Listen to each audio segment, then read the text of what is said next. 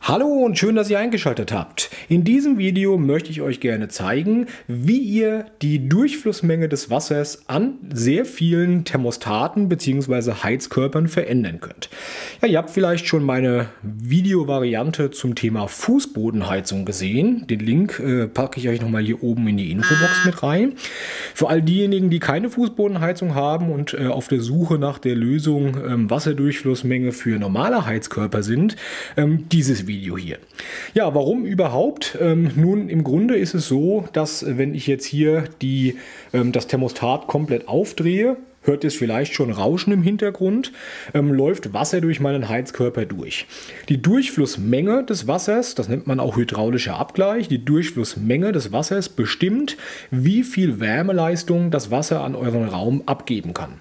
An der Stelle nochmal den Hinweis, ich bin Hobby-Handwerker, Hobby-Heimwerker und nicht vom Fach. Wenn ich also hier Dinge erzähle, die nicht zu 100% stimmen, dann seht es mir nach. Ähm, sind einfach die Erfahrungen, die ich selbst in meinem Haus gesammelt habe, die ich hier an euch weitergeben möchte. Ja, also, je mehr Wasser bzw. je schneller das Wasser durch euren Heizkreislauf durchläuft oder den Heizkörper durchläuft, desto mehr ähm, Wärme kann abgegeben werden, weil das Wasser eben keine Zeit hat, in dem Heizkörper sehr stark abzukühlen. Andersrum bedeutet das, je langsamer das Wasser durch euren Heizkreislauf oder Heizkörper fließt, desto mehr Zeit hat es, ähm, die Temperatur abzugeben. Das heißt, es läuft warm rein und kommt eben relativ kühl im Rücklauf wieder raus.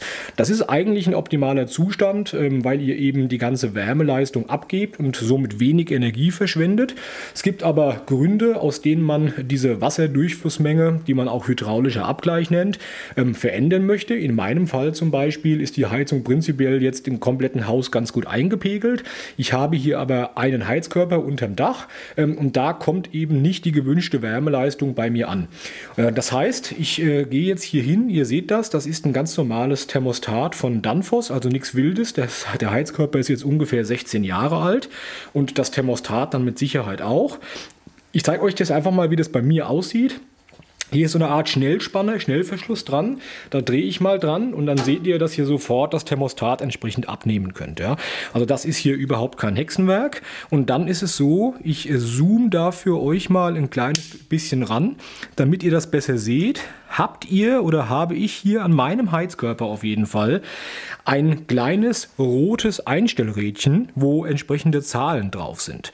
Und ähm, das steuert, wie viel Wasser durch euren Heizkörper fließt. Also bei mir steht es, stand es am Anfang auf 1. Ja, das kann man hier ähm, mit einer Zange optimalerweise drehen. Ich habe hier so ein kleines Werkzeug, ja, damit geht das auch ganz gut. Ähm, stand vorher, ihr seht das hier, auf 1. Und das heißt, das Ventil ist relativ weit zu.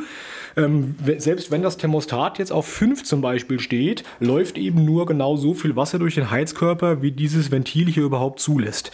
Und je weiter ich das aufdrehe, desto mehr Wasser läuft in der offenen Stellung des Thermostats durch euren Heizkörper durch. Ja, und das ist äh, was, wo ich äh, längere Zeit nach gesucht habe und nur durch einen Tipp von einem Freund äh, darauf gekommen bin, dass es eine solche Einstellungsoption hier unter dem Thermostat gibt. Bei einigen älteren Heizkörpern gibt es auch solche Einstellmöglichkeiten direkt im Zulauf-Eckventil oder im Zulauf. Da müsst ihr mal schauen, da sind teilweise so Plastikkäppchen oder auch Metallkäppchen drauf, die man aufdrehen kann. Und da drin ist dann eine Schraubenöffnung, wo ihr auch die Durchflussmenge des warmen Wassers für euren Heizkörper einstellen könnt. Ja, ich habe jetzt bei mir einfach mal, das war auf 1 gestellt, hier mal ein bisschen höher gedreht auf jetzt hier in dem Fall 6. Ähm, ich stecke jetzt hier einfach mein Thermostat wieder dementsprechend drauf. Das geht deutlich einfacher, wenn das Thermostat sich im geöffneten Zustand befindet. Steckt das einfach drauf ich musste die Position der Kamera ein kleines bisschen verändern, weil ich doch zwei Hände brauchte. Aber ihr seht, das Thermostat wurde jetzt, hab, ich habe das jetzt einfach wieder draufgesteckt hier. Und äh, ja, dementsprechend ist euer, äh, eure Konfiguration fertig. Und es läuft jetzt deutlich mehr Wasser durch den Heizkörper, als es das vorher getan hat. Nochmal ein kleiner Hinweis an der Stelle. Ähm, wenn ihr nicht vom Fach seid, so wie ich, seid damit sehr, sehr vorsichtig. Ihr habt äh, einen Impact, also eine Auswirkung auf den gesamten Heizkörper Heizkreislauf. Ja, das heißt, wenn ihr hier äh, am hydraulischen Abgleich Änderungen vornehmt, so wie ich das jetzt getan habe, kann es sehr, sehr gut sein, dass es andere Heizkörper oder dass es die Temperatur in den anderen Heizkörpern mit beeinflusst. Also hier wirklich notieren, was ihr geändert habt und im Bedarfsfall dann wieder zurückstellen und wenn es überhaupt nicht funktioniert, am besten einen Fachmann holen, der euch bei der ganzen Geschichte unterstützt. Okay, ich bedanke mich an der Stelle fürs Zusehen, würde mich über einen Daumen nach oben, ein Abo auf meinem Kanal freuen und wir sehen uns spätestens im nächsten Video. Macht's gut!